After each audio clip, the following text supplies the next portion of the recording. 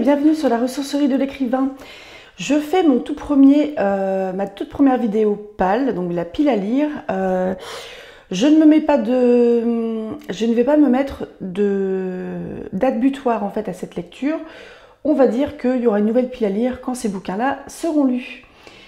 Et euh, donc il y a deux ou trois relectures et également des découvertes et un petit peu de manga. Alors au niveau des mangas, c'est des livres, enfin c'est des mangas que j'avais offerts à mon, à mon homme euh, pour son anniversaire l'année dernière. son anniversaire c'est le mois prochain. Et euh, je m'étais creusé la tête parce que je m'étais dit, c'est vrai qu'il y a quelques années, on en avait lu quelques-uns des mangas quand j'avais mon, mes frères et sœurs qui étaient plus jeunes. Euh, on en avait lu quelques-uns. J'avais lu les Hunter x Hunter, les Shaman King, je crois qu'on les a en complet. Et mon homme lisait les Noritaka, que moi je n'aimais pas forcément. Enfin, c'était un truc autour de la boxe. Donc, je vais vous présenter, là j'ai juste trois volumes de Moriarty. Euh, et j'en profite en fait pour en parler parce que j'ai vu... Il y a Link the Sun qui a fait une vidéo récente sur les adaptations de Sherlock Holmes avec l'accent anglais. J'ai fait un super accent là, vous avez retenu euh, et du coup, il parlait de ce manga-là. Ce manga-là, c'est, je ne connais, je suis pas une grande connaisseuse du, de l'univers de Sherlock Holmes. J'ai jamais lu un Sherlock Holmes, mais euh, j'ai vu la série avec Cumberbatch. J'ai vu un petit peu Elementary aussi, et j'ai vu les films avec euh, Robert Downey Jr. Je crois pas que j'en ai vu d'autres, peut-être des plus anciens, quand il avait, quand il était habillé en tweed avec la pipe, etc. Mais je j'aime assez. Enfin, j'aimais beaucoup les séries euh, Elementary et euh, le, celle avec euh, bah, Sherlock, avec Cumberbatch. Donc là, on est. oula, il y a de la poussière. On est du point de vue de Moriarty, qui est la némésis de Sherlock Holmes, et j'ai les trois premiers volumes. Je les trouve plutôt jolis. Donc, volume 2 et volume 3. Est-ce que... Ah, bah du coup, il y a trois, euh, euh, comment dire, euh, quatrièmes de couverture différents forcément, vu que c'est pas les mêmes. Je vais vous lire le premier. Le mythe de Sherlock Holmes revisité à travers les yeux de Moriarty. Fin du 19e siècle, l'Empire britannique a atteint son acmé. Albert Moriarty, fils aîné du comte Moriarty, est révolté par le système social fondé sur la hiérarchie des classes et profondément enraciné dans les esprits. Deux frères rencontrés dans un orphelinat vont lui permettre de se lancer dans un projet d'une ambition folle, apporter la paix au pays tout entier. Et oui, l'ennemi juré de Sherlock Holmes cachait un secret. Alors ça fait un bail que j'ai pas lu de manga, j'en lis vraiment pas beaucoup. Je regarde pas d'animé parce qu'en général je suis pas très fan de... Euh, je suis pas très fan de, du dessin, du caractère design. Et bon, je vous montre rapidement quelques planches comme ça. J'ai à peine ouvert le truc. Hein et je les ai achetés il y a un an, je les, on ne les a pas ouverts. Donc euh, je ne sais pas du tout. Je m'étais dit pourquoi pas. Je, me souviens que j'avais passé un temps infini dans, le, dans les rayons à, repérer une série, regarder sur internet et compagnie. Donc j'ai absolument aucune idée de combien de tomes il y a pour euh, Moriarty. Mais je me dis, ça se lit vite, de temps en temps on s'en achète deux, trois, allez. Le tome 2. C'est Sherlock ça, j'imagine. C'est vraiment plein de poussière, j'ai honte. Rien ne remue plus le cœur humain que la mort. Alors que l'infanterie se prépare à débarrasser le pays d'un réseau de trafic d'opium, Albert apprend qu'une section spéciale est en passe d'être créée. Peu après, William, à peine arrivé à Londres, est attaqué par de mystérieux individus. Pour rectifier tout ce qui ne tourne pas rond dans le pays, Moriarty développe une audacieuse stratégie totalement inouïe, le théâtre du crime. Je vous avouerai que j'aime bien là, au niveau des dessins. Après, ça c'est mes goûts personnels, faut pas que je touche le micro, ça va faire du bruit. Euh, j'ai l'impression qu'au niveau des dessins, les mangas se ressemblent beaucoup. Euh, après, je vous dis, je suis relativement inculte hein, au niveau euh, manga, donc je vous dis ce que je ressens tout simplement. Mais tout simplement, je ne connais pas assez. Mais j'ai l'impression qu'il n'y a pas beaucoup de mangas qui se détachent au niveau visuel. Donc le troisième, est-ce que c'est Moriarty? Je suis pas sûre.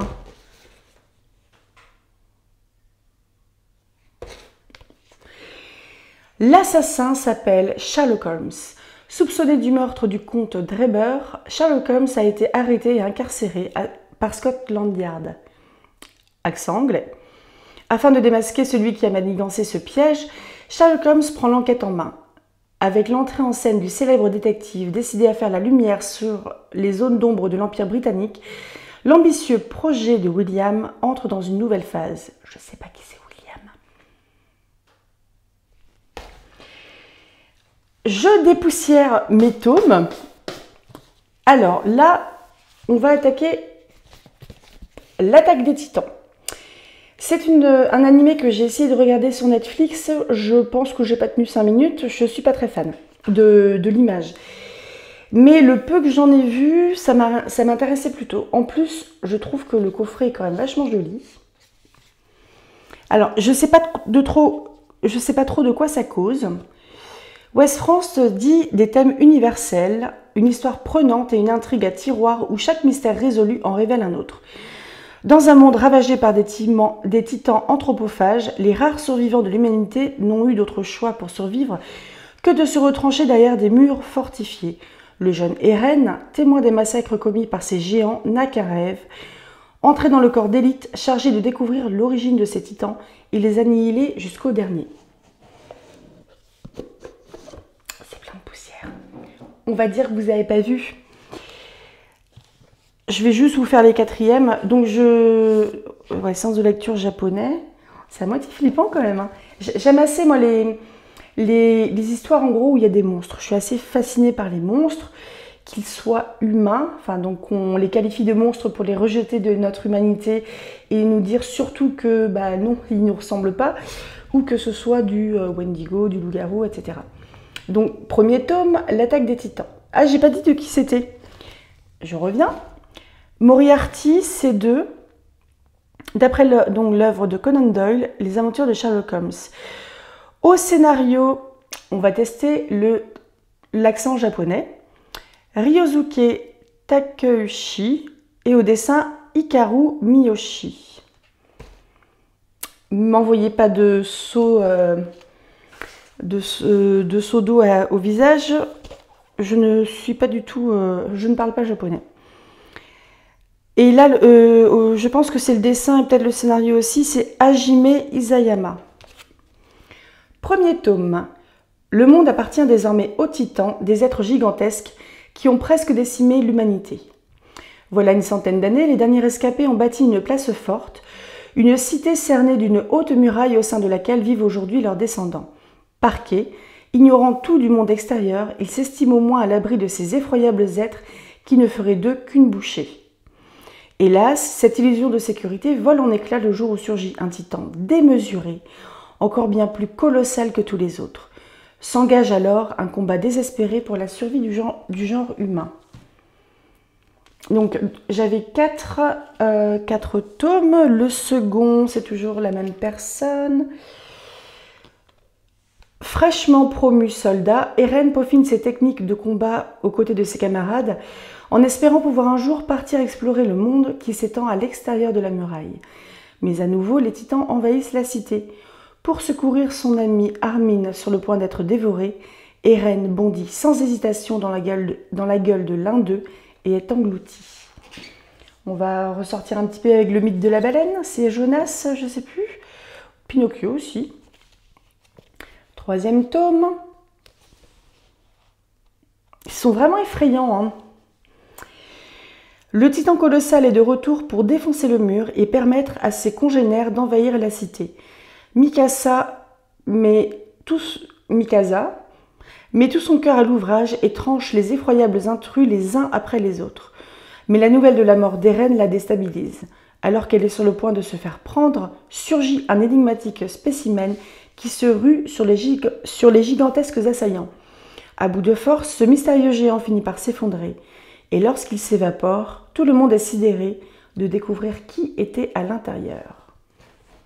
Eren Quatrième tome, donc le dernier du petit coffret qui est très joli. Je crois qu'il y a pas mal de coffrets. Eren se retrouve, se trouve au cœur d'une opération militaire inédite, métamorphosé en titan.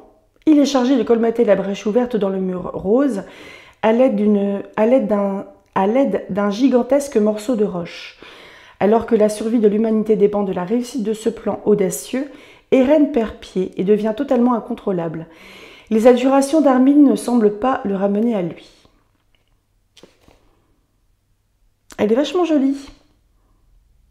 Ouais, les, petites, euh, les, filles sont vraiment très très jolies. Et euh, je vous montre rapidement quelques planches comme ça au pif. Parce que le, en fait, quand il y a des dessins, j'avais dû vous, euh, vous, en parler sur quand je vous ai présenté Sweet Tooth. quand c'est en noir et blanc, des fois je peux, je peux confondre en fait des, des personnages, donc ça peut être un petit peu gênant. Euh, on va passer sur, allez, on va rester un peu dans le graphique et je vais vous montrer ça. C'est pas tout à fait du graphique, mais c'est une relecture. C'est vieux. Euh, j'ai acheté ça quand j'étais au lycée, je pense. Attention, c'est magnifique. Le poète du désert de Hassan Massoudi avec une préface de A. Miquel aux éditions alternatives. C'est en francs, donc j'ai acheté ça quand j'étais au lycée. Vous savez, quand il y avait encore les francs. Ernest Renan. Je ne, sais s'il y a dans toute l'histoire de la civilisation un tableau plus animé que celui de la vie arabe avant l'islamisme. Telle qu'elle nous apparaît dans cette image admirable de Antara, liberté illimitée de l'individu, sentiment exalté de l'honneur, vie nomade et chevaleresque, fantaisie, gaieté, malice, poésie légère et indévote, raffinement d'amour. Alors Hassan Massoudi, c'est un un calligraphe. Euh, il présente un petit peu. Oui, voilà, c'est un calligraphe. Euh, donc Antara, le poète du désert, 525-615. Extrait d'un ouvrage arabe du XIIe siècle, adaptation de traduction française du XIXe siècle. J'ai le souvenir, donc là, vous avez euh, la. C'est un livre qui est tout petit. Hein. Vous avez la préface d'André Miquel et je vais vous montrer, ça va être trop beau. On commence un petit peu avec de la une calligraphie.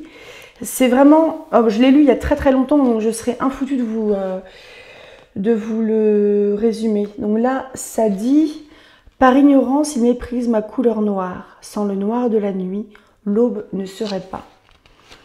Je vais vous montrer quelques les calligraphies les plus jolies. vous pouvez regarder un petit peu euh, les, les œuvres de, Hassan Massoudi. Il avoir un site internet, il me semble. J'avais fait des, recherches. C'est vraiment super beau. C'est très aérien. Sans le noir du grain de beauté sur une peau blanche, les, amants en admireraient moins l'éclat et la fraîcheur.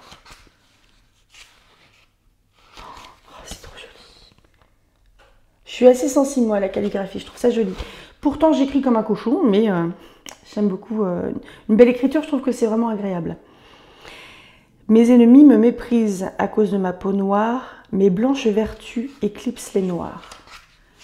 Donc, on est vraiment sur un. C'est joli, hein On est vraiment sur euh, des récits qui sont très anciens. Mon ardeur est plus dure que le roc et plus forte que les montagnes inébranlables. Moi, je trouve ça vachement beau. Hein. Ça, rappelle un peu les mille et nuits. Blanche, elle étire ses longs cheveux et il disparaît comme dans la nuit noire. Ouais, la citation est magnifique. Pardon. Attendez, j'ai mon ordi qui se met en veille. Ma tribu me reproche d'être noir, mais au milieu des combats, je suis plus éclatant que l'aurore.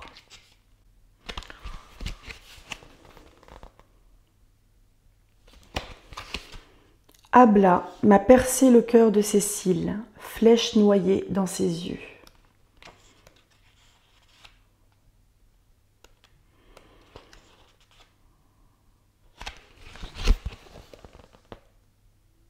C'est une écriture, ça? Euh, Si quelqu'un lit euh, l'arabe, c'est une écriture?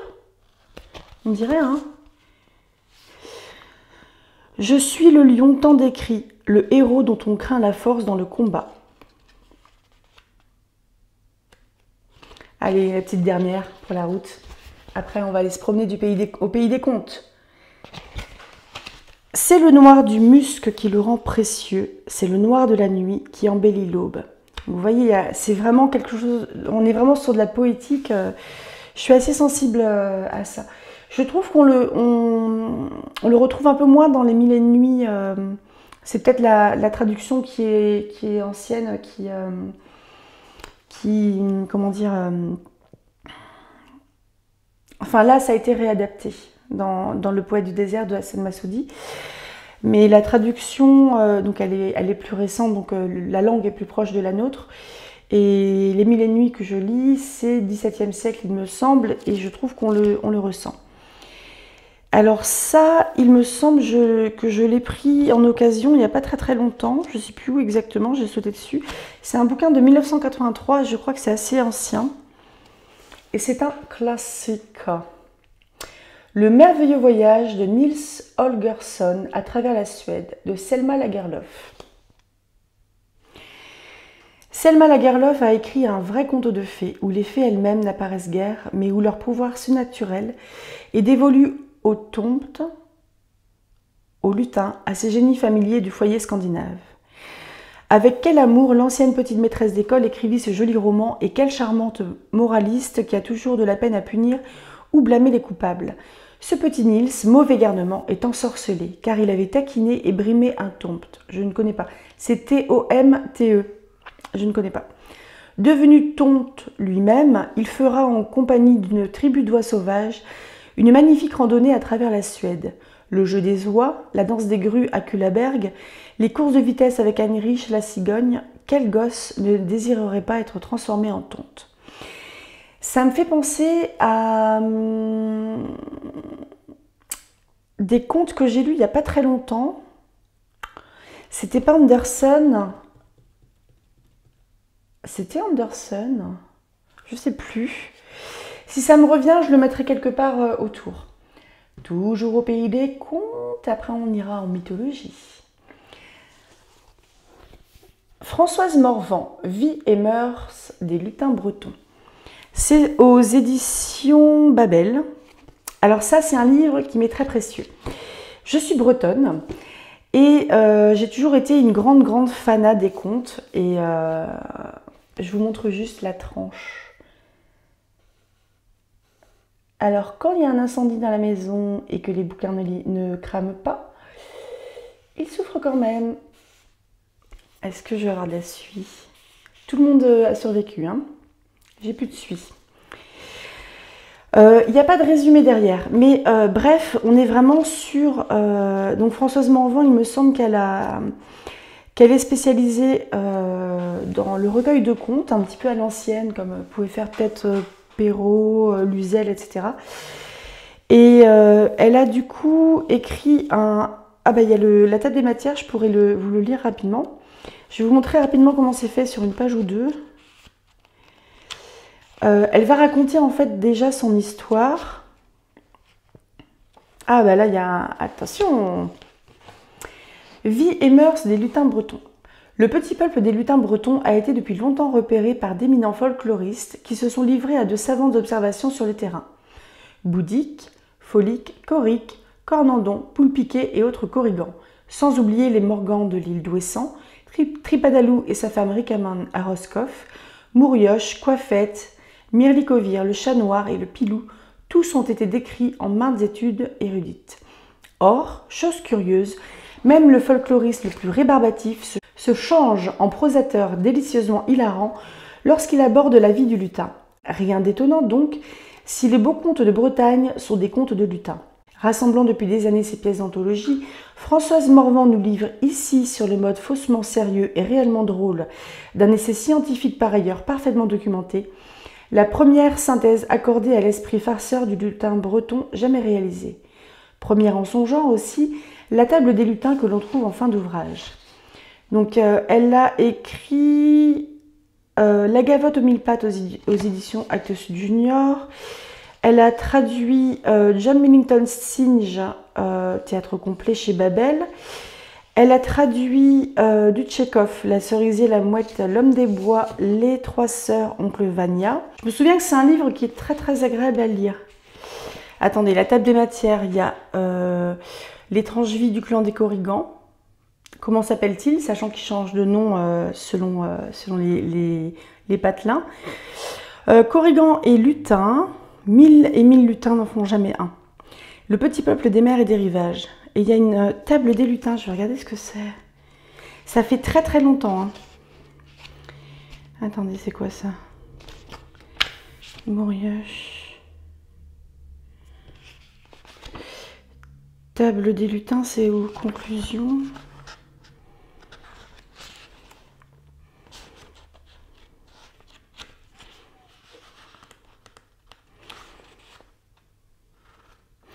Bon, la table des lutins, c'est un, petit répertoire en fait des lutins euh, qui, euh, qui, ont été nommés. Il y a une bibliographie chronologique aussi, ce qui peut être très intéressant si, euh, comme moi, vous avez envie de creuser un petit peu. je ne vous montre pas la date des lutins, mais je vous montre la bibliographie chronologique.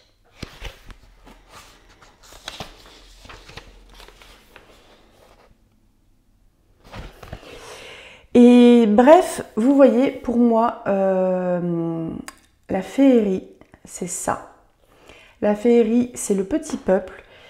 C'est euh, probablement ça aussi. Euh, c'est le petit peuple. C'est des créatures fantastiques qui, peuvent être dans le charme, qui peuvent être hostiles, qui, peuvent être dangereuses, qui peuvent être juste agaçantes. Et euh, c'est, je pense que si on a envie d'écrire sur la féerie, il faudrait qu'on reprenne à lire ce genre de choses. Parce qu'il y a beaucoup de réécriture en fait ces temps-ci avec euh, la féerie, il n'y a pas de souci là-dessus, hein, euh, évidemment. Mais je trouve que ça, c'est la base. Ça, c'est la base. Et j'aimerais beaucoup en fait lire sur différentes féeries de différents, différents endroits, différents pays. Donc j'ai récupéré pas mal de... Euh, j'ai récupéré pas mal de... Comment dire de livres et de livres libres de droit notamment parce que moi je suis euh, j'adore le livre de, droit. J'enlève mon petit post-it pour montrer le dernier. Et euh, ouais vraiment j'aime beaucoup en fait. Et pour moi c'est pas c'est pas du conte qui va s'adresser forcément aux enfants. Parce que là vous avez du petit lutin qui va tresser tresser les crins des chevaux qui va faire tourner le lait si on l'emmerde, euh, mais vous, avez, vous pouvez avoir aussi des, euh, des créatures qui sont, je ne sais pas s'il y a les, espèces de chevaux là qui sont dans les marais, qui, euh, entraînent les gens dans les, bah, dans les marais pour les noyer. Mais ouais, moi j'aime beaucoup, je suis très très très fan de ce genre de choses. On continue sur les contes, mais dans le Grishaverse, j'ai envie de vous montrer ce, cette beauté le chant des ronces de Libardugo. Pour moi, il est indispensable de lire au moins la saga Grisha. La saga Grisha qui, euh, qui concerne du coup Alina Starkov. Et euh, je vais vous faire un petit récap vite fait euh, de, ce qu'est le Grishaverse. Mais lisez d'abord la, saga Grisha. Le monde de Grisha, dans le monde des Grisha, c'est quoi un Grisha? Un Grisha, c'est dans un pays imaginaire, un, pays fantasy. Euh, les Grishas sont des gens qui ont des pouvoirs. Ils peuvent manipuler la matière, ils peuvent manipuler les éléments, ils peuvent manipuler le vivant. Et euh, en fait, on leur fout relativement la paix à Rafka. Rafka qui est un grand pays qui est coupé en deux par le Shadowfold, qui est une zone morte où il y a des créatures euh, anthropophages qui ont la dalle dedans. Et euh, dans d'autres pays, ils peuvent être euh, chassés, réduits en esclavage, tués pour qu'on consomme leur sang et qu'on récupère leur pouvoir. Ça a juste été mentionné, ça, je ne sais pas si c'est vrai ou pas. ça peut être également... ils peuvent être également ils peuvent subir aussi de, des procès euh, à la con et finir brûlés sur des bûchers de sorcières. Donc être Grisha dans ce, monde merveilleux, c'est pas, pas très très euh, c'est pas très safe. Et les Grishas, du coup, Euh, donc, le, le Grishaver, ça démarre par la trilogie sur Alina Starkov et les Darkling. Le Darkling est quelqu'un qui manipule les ombres et qui est le général de la seconde armée qui est composée de Grisha euh, à Ravka, parce que Ravka est en guerre contre Fierda au nord et Shuan au sud, Fierda étant inspiré de la Scandinavie en gros, et Shuan plutôt de la Chine, la Mongolie euh, par là. Euh, et c'est un pays qui est coupé en deux, donc qui est privé de ses ressources qui sont euh, liées à la mer. Et il y a le donc coupé en deux par le Shadowfold et c'est plus ou moins prophétique, mais on dit que Alina Starkov, qui se découvre assez rapidement dans le récit des pouvoirs d'invocatrice de lumière, est celle qui est destinée plus ou moins à détruire le Shadowfold qui pourrit quand même la vie de Ravka. Et donc, dans cet univers-là, vous avez le chant des ronces qui, c'est contes de minuit et autres magies sanglantes. Si l'amour s'exprime avec des fleurs, la vérité exige des épines. Six contes où règne passion, trahison et vengeance. Un recueil magnifiquement illustré. C'est traduit de l'américain par Anna Triveline. Anna Triveline a, traduit les deux derniers tomes de, la saga Grisha. Je sais, j'ai pas vérifié pour les, euh, j'ai pas vérifié pour les autres livres. Et le dessin de couverture, c'est Nathalie C. Souza et Hélène Douda. Hélène Douda, il me semble que c'est celle qui fait les, euh, illustrations à l'intérieur. Ah non, c'est Sarah qui peint. Euh, Sarah qui les illustrations à l'intérieur. On a six contes.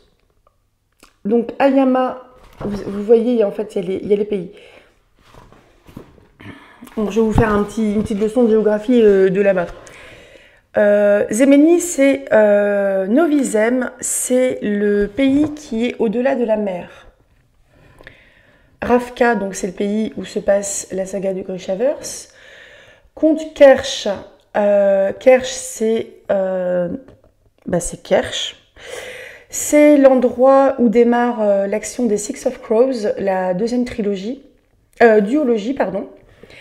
Comte Fierdan, euh, bah, c'est le pays qui est au nord, euh, au nord de Ravka et qui est en guerre contre Ravka. Je vais vous montrer, je ne sais pas comment je vais faire. En fait, vous avez euh, le compte normal et à chaque fois sur les comptes, vous avez un dessin qui est sur le côté qui va grandir, grandir, grandir. Je trouve que c'est magnifique. Vous voyez, jusqu'à envahir toute la, page et parfois aussi se modifier. Et c'est pas juste trop beau. C'est plus ou moins un conte de, de, La Belle et de la Bête, le premier là, sur Ayama. Il y a le renard trop rusé ensuite qui est euh, Rafkan, le, le renard.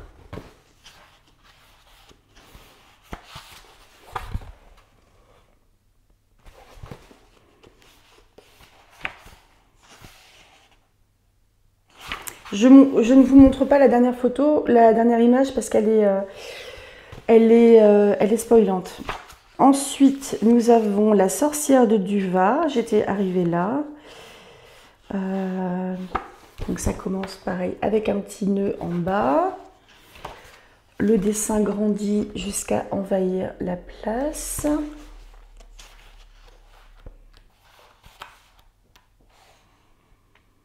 Bon, allez, c'est pas spoilant. Vous avez vu comme c'est beau? J'adore le contraste en fait entre les couleurs, je trouve ça juste trop beau. On a ensuite Petite Lame, je crois que c'est également euh, un contre-afghan, il me semble. Donc avec toujours le dessin qui envahit entre guillemets la page. Je suis vraiment très très sensible à ce genre de dessin, euh, vraiment. Euh. Ouais, je crois que je vais pas vous montrer j'ai un petit doute. Je pense que c'est spoilant, donc je vais m'arrêter ici pour pas que vous ayez la dernière grande image.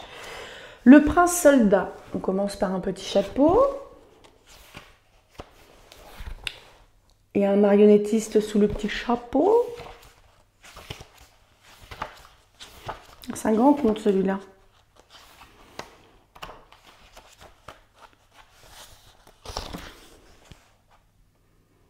pense qu'on... Je...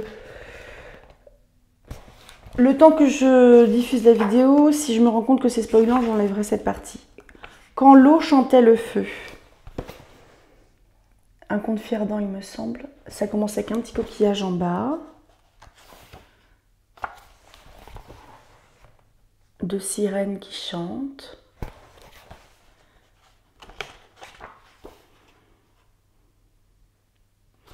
Non, mais je crois que je ne vais pas vous montrer.